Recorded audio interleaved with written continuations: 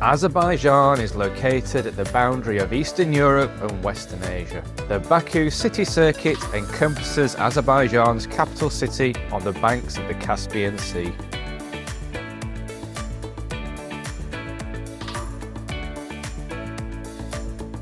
Azerbaijan Airlines have direct services to a handful of European and Asian cities, but the majority of F1 fans are likely to find more choice on indirect flights via Frankfurt, Istanbul, Dubai or Qatar.